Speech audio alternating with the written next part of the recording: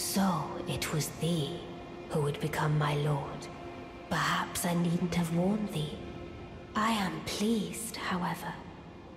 Thou art a fitting choice. I go now to the night sky. It is there I shall find mine order.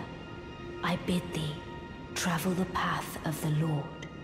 And once all is done, we shall see each other once more.